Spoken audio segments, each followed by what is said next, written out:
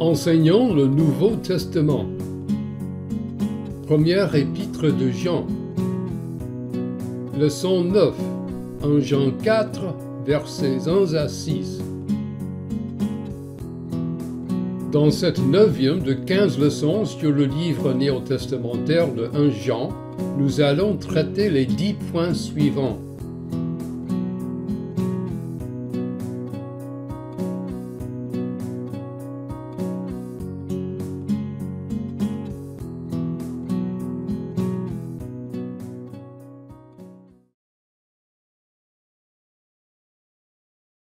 Bien-aimés, n'ajoutez pas foi à tout esprit, mais éprouvez les esprits pour savoir s'ils sont de Dieu, car plusieurs faux prophètes sont venus dans le monde. Reconnaissez à ceci l'Esprit de Dieu. Tout esprit qui se déclare publiquement pour Jésus-Christ venu en chair est de Dieu.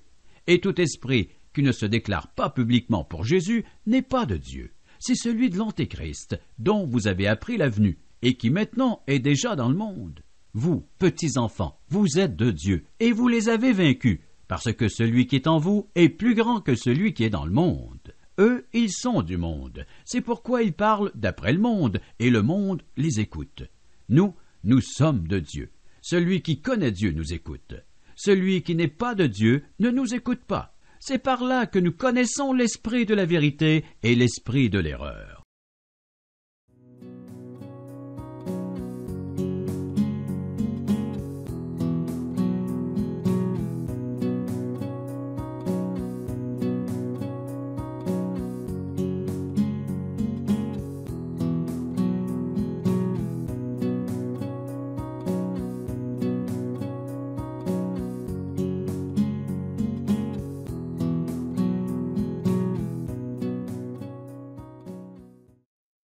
Quoique l'épître de 1 Jean soit bien préservé, les manuscrits font preuve de variantes textuelles telles que les suivantes. Dans le verset 2, à partir du IVe siècle, quelques manuscrits se lisent Nous reconnaissons l'Esprit de Dieu au lieu de Vous reconnaissez l'Esprit de Dieu. Un manuscrit du IVe siècle se lit Être venu à la place de Est venu. Dans le verset 3, à partir du IVe siècle, certains manuscrits insèrent venu en chair après Jésus, et à partir du IXe siècle, deux manuscrits insèrent être venu. Il est clair que Jean a emprunté à Jésus lui-même plusieurs de ses propos.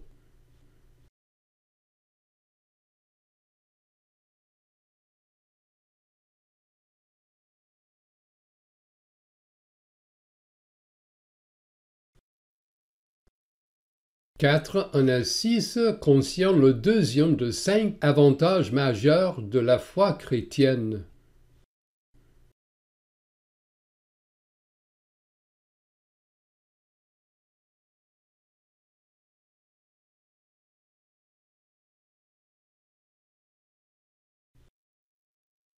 Écouter veut dire recevoir des nouvelles ou des informations sur quelque chose, apprendre quelque chose. Éprouver, c'est faire un examen critique de quelque chose, déterminer l'authenticité, mettre à l'épreuve, examiner les esprits des faux prophètes. Il s'agit d'un esprit activant qui n'est pas de Dieu. Puisqu'il y a des personnes activées par de tels esprits, il est nécessaire de tester les différents types d'esprits.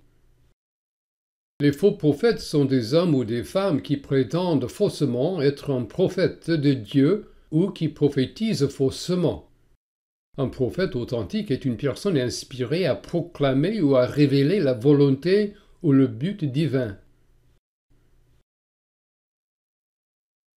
Jean et Paul, tous les deux, emploient dans leurs épîtres un nom ou un pronom pour définir un autre nom ou pronom lorsque tous les deux sont objets du même verbe de confession.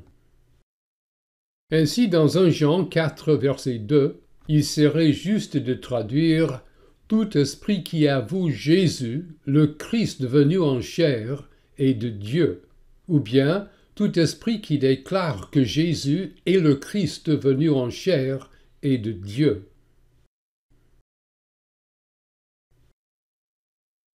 Demandez au Saint-Esprit de vous montrer, dans 1 Jean 4, versets 11 à 6, des vérités, des principes et des modèles qui peuvent vous aider, vous et ceux à qui vous enseignez.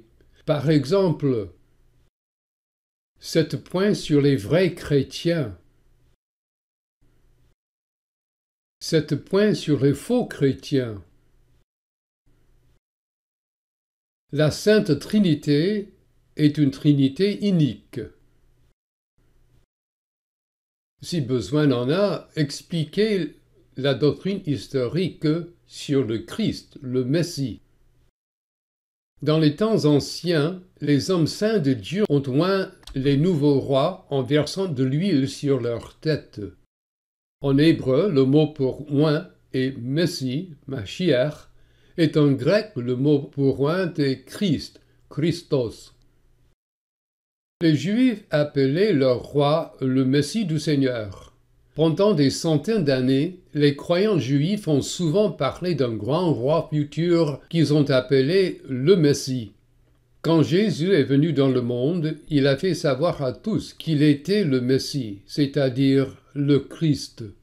Dans les années où Jean écrivait en Jean, les philosophes ont commencé à enseigner que le Christ était un esprit que leur Dieu avait envoyé pour habiter avec l'homme Jésus et que Jésus n'était pas le Christ. Donc un Jean enseigne que Jésus est le Christ et que le Christ est venu dans le monde en chair c'est-à-dire en tant que l'homme Jésus. Dans les petits rassemblements et les églises de maison, après que quelqu'un ou plusieurs ait lu 1 Jean 4, 1 à 6, posez les questions suivantes et permettez à quiconque d'y répondre. Qu'avez-vous appris de ce passage à propos de Dieu, à propos de Jésus, à propos des faux prophètes, dans votre enseignement, recommandez des moyens d'appliquer ou de mettre en œuvre le passage.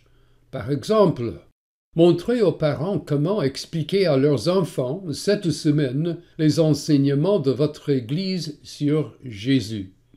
Demandez aux apprenants de rapporter sur un faux enseignement sur Jésus qu'ils ont entendu récemment.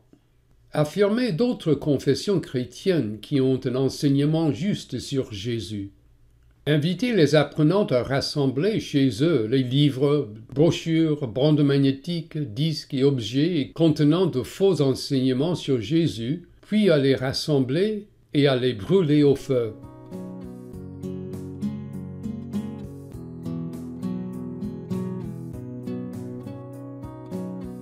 S'il vous plaît, lisez cinq fois 1 Jean 4, 7 à 13 avant de visionner la leçon vidéo suivante. Si vous laissez des questions ou des commentaires, j'y répondrai par la suite.